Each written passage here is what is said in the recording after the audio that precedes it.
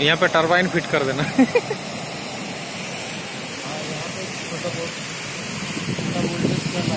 छोटा वोल्टेज का सेट हो जाएगा।